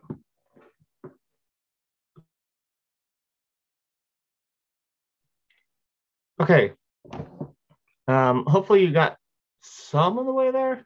Um, this is a lot, a lot. Like this is a this is a pretty sizable app, um, and so trying to do it in seven minutes is way too difficult. Um, but hopefully you were able to at least start on it. So what I'm going to do to do this is I'm going to start by just um, loading GSS cat, right? So I'll go GSS cat, and I'm just redefining it as D just so it's easier for me to work with.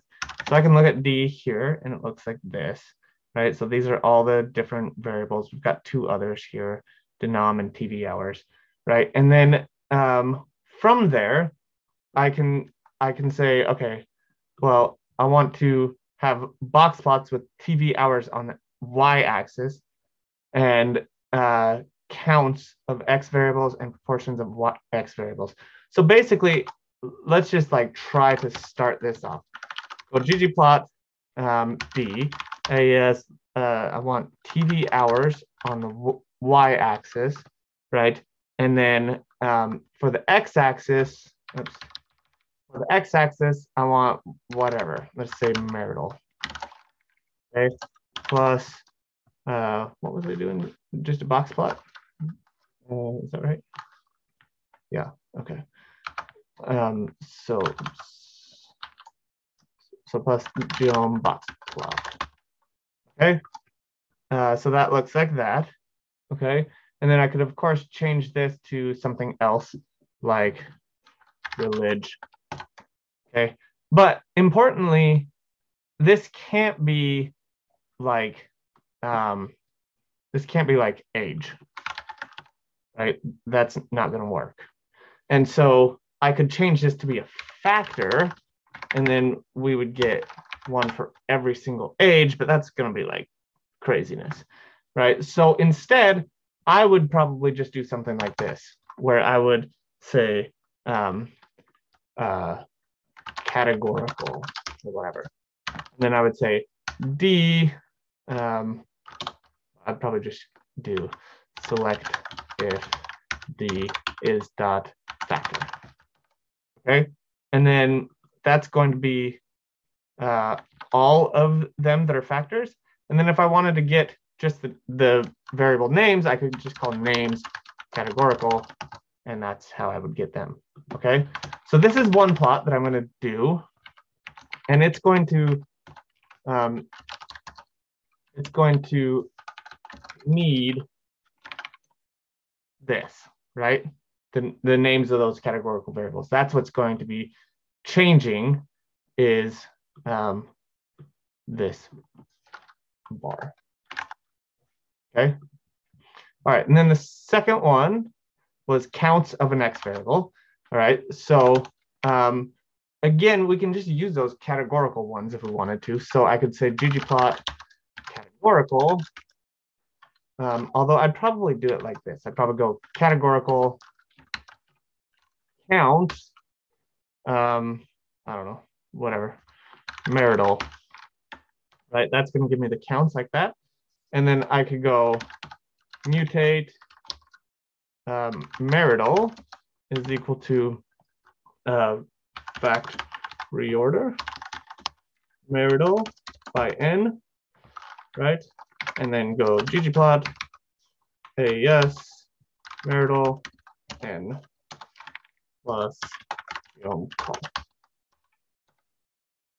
Um, oh, I don't have forcats. I'm just going to do relevel then. That's a base function that does the same thing. What is going on now?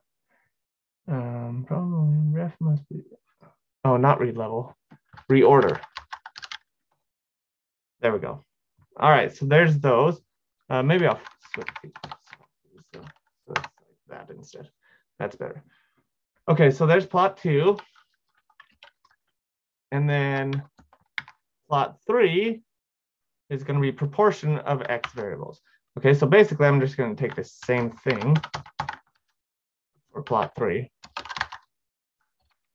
Um, but then I'm going to say, uh, after my count and my mutate, um, I could say,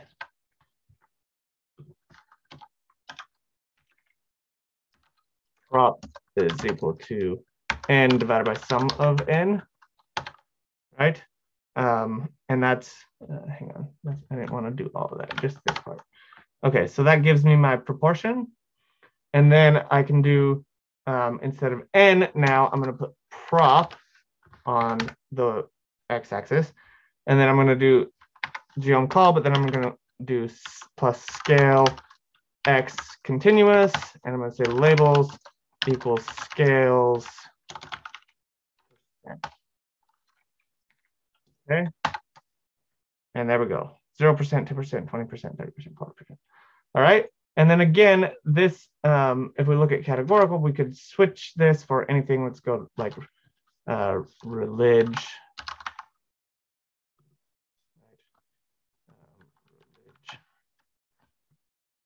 And that's going to stay the same now, but that's not actually what it is.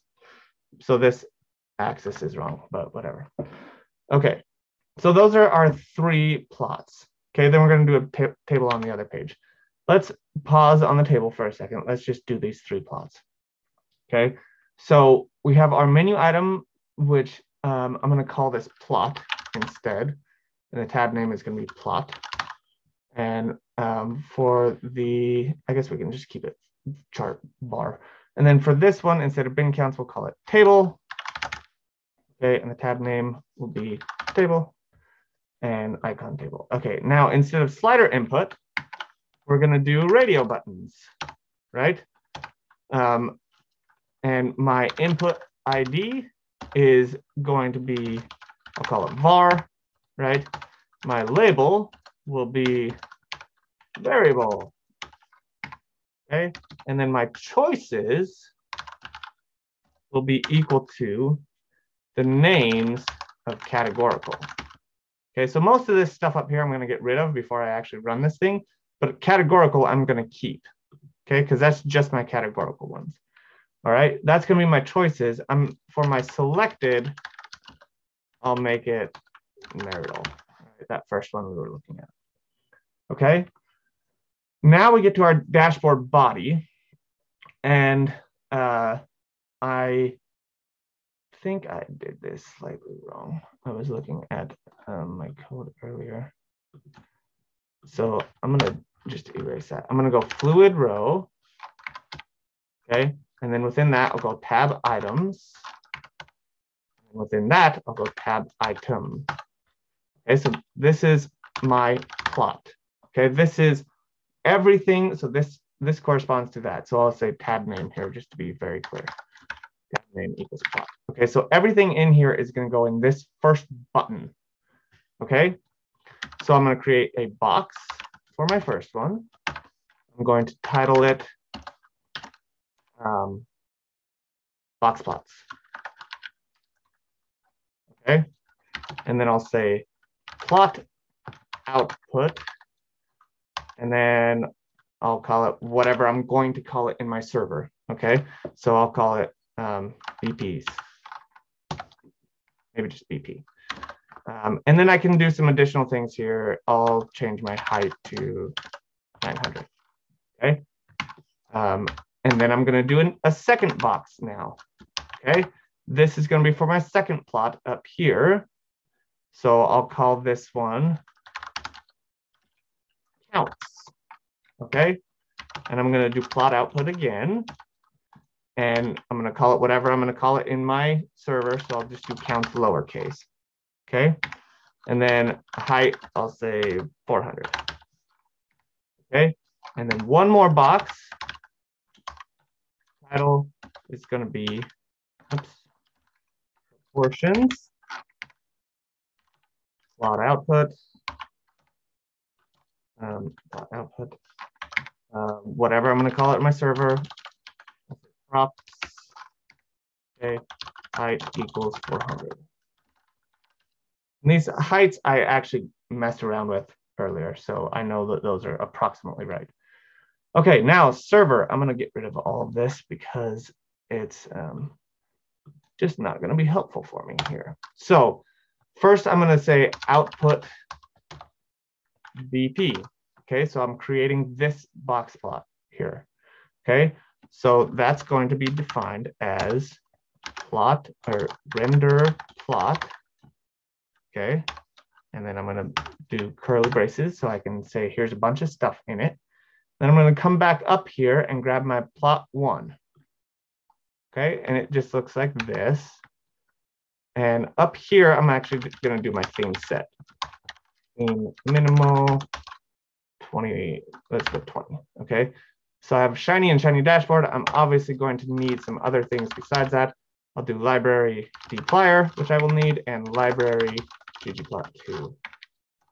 Okay. This there. Well, whatever. I'll keep it there for now. Okay, so I'm going to put this in here, but my var here is uh, where it's going to be different, right? So I'm going to say uh, bang bang sym input var. Okay, and again, I have to do this bang bang sym because this var is going to be passed as a character and I need it to be evaluated as not a character. Okay, all right. Um, so that's good. And then I could make it fancier if I wanted to, but I'll hold off on that for now. Output counts now. Okay, render plot. Okay, then I'm gonna do this second plot up here. Okay. Come down here.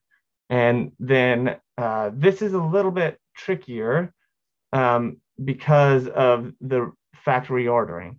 So what I would do is I'm going to say, okay, I'm going to count bang bang sym input var. Um, but then for the mutate, I'm probably just going to do it like this. I'm going to say var is equal to reorder, and then I should be able to do bang bang sym input var there. And then I can just put my var here. And then now I can say plus um, scale y discrete. Actually, I'll just do it like this. This will be easier. Y lab, nothing. Okay. Um, or even labs. Y okay, I think that should work. And then third plot, output plot props. Okay. Render plot. This is obviously a lot. Um, grab this. My cat is talking in the background.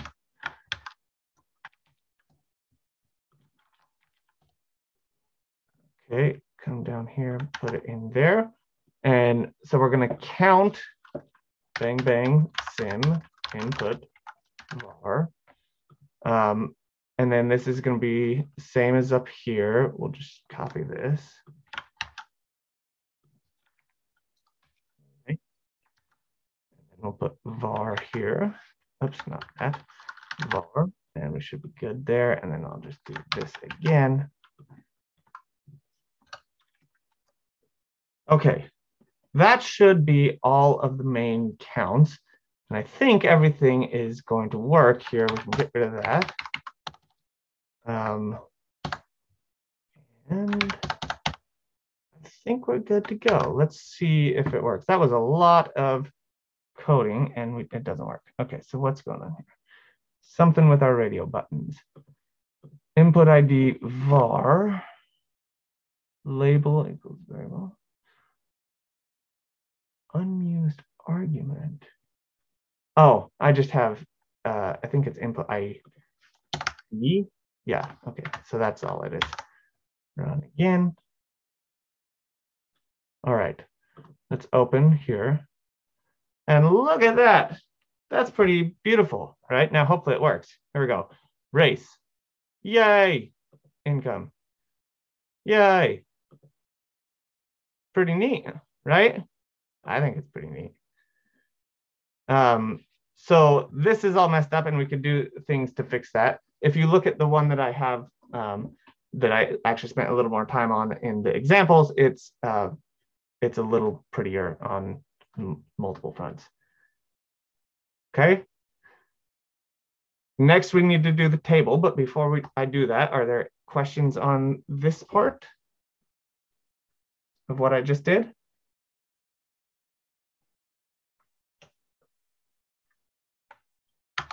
Okay, so let's go back to R and uh, we will create our table. So I have my tab items here, right? Here's my tab item.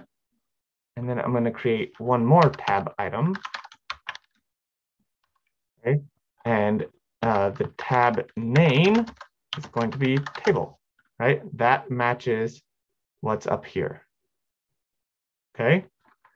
And then I'm going to create a box. And I, like I said, like reactable. So I'll do reactable output. Okay. And then I need to just call it whatever I'm going to call it in the server. So I'll call it react table. Okay. And um, we can change the height on that one too if we want. All right. Now down here, we need to create another output for that. So I'll go output dollar sign react table. And then we're going to go render reactable. Okay. And then in here now, we just need to figure out what the table is that we want to create. So let's do that outside of here so we can kind of mess with it. So I have D still, looks like this, right? And so I'm going to say D group by, let's say, uh, marital, okay? Then summarize, and we want to say all the things we want. So n is equal to n, mean is equal to mean TV hours, na.rm is true, right? Standard deviation, min, max.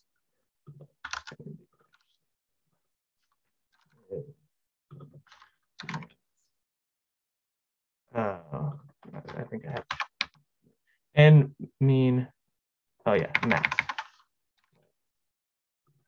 Max. Okay, and then uh, we can go to reactable.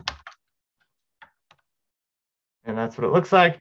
So these all need to be rounded. Um, so I could round them like I did before, or I could just say mutate. Oops, I need to do that before reactable though. Mutate if is dot numeric round to two decimal places.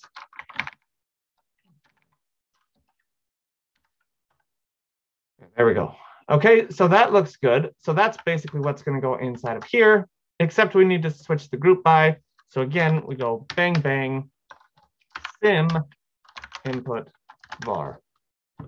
Okay, so this React table, that's the thing we're creating. It comes up here in its own tab, reactable output there, right? And this tab name is defined by table, which is one of our menu items. Okay, so run that. And now refresh our dashboard. This all looks the same. So that's good. Then we click on table, and now we have the table that we also get, which changes by thing. Okay.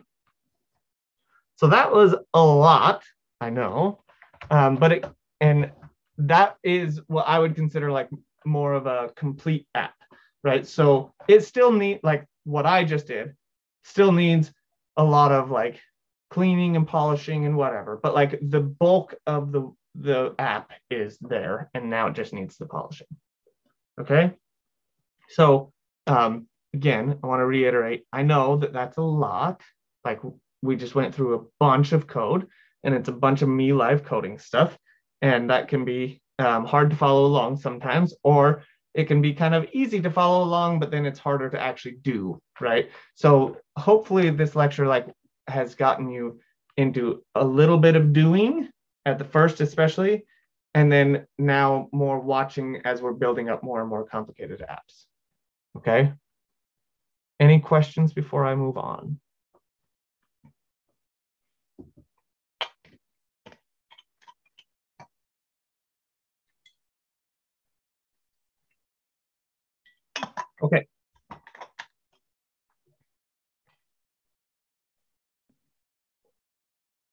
Right. I think I had walkthrough because I was just going to walk you through the code. I wasn't actually going to write it all, but oh well, we wrote it all. Okay, extensions. Um, so uh, there are a lot of extensions for Shiny. Um, and then there's a few for Shiny Dashboard. Shiny is much bigger than Shiny Dashboard. Okay, so if you want to do extension type stuff, um, Shiny is probably going to be your better bet. But a lot of the things that work for Shiny actually also work for Shiny Dashboard because Shiny Dashboard is really just a wrapper around Shiny itself. Okay. One of the neater ones, I think, is this Shiny themes. So um, there's a whole bunch of different themes that you can use. And uh, actually, this is not the one I was thinking of, but this is still kind of neat. Um, so you can see the different, all the different themes and how different they look. So you can theme your Shiny app very easily just by changing the theme. Um, so here's Shiny themes. You load Shiny themes, and then at the top you say Fluid Page theme, Shiny theme, whatever you want it to be. Okay, and that'll change a lot of it. Um, you can also add your own CSS, which is fun, um, but can take you down rabbit holes. Um, and then there's also one called dashboard themes, which uh, is basically the same sort of thing, but it's not as well supported and it's not as um, as big, but it it does some of the same sort of stuff. Um, it has these those value boxes in uh, Shiny Dashboard are there just by default. Um, but uh, yeah, so here's here you go. Title theme to the dashboard header. Okay. Um, so there's a bunch of different stuff that you can do in here too to define your own things, but like these look really nice, right? Um, and I think these value boxes really help too.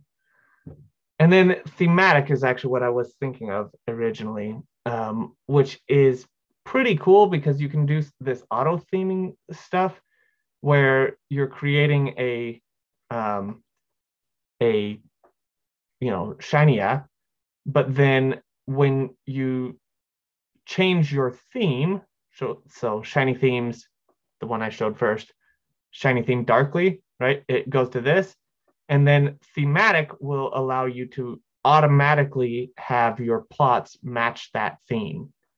So it's pretty neat, I think, um, because that's kind of complicated, but it does it for you pretty easily. Okay, so that's another one that is worth checking out. And um, I think we're going to pause on reactivity because that's a big topic and complicated. And I feel like we're already filled to the brim. So if I try to continue to go down more complicated things, we'll just end up spilling over.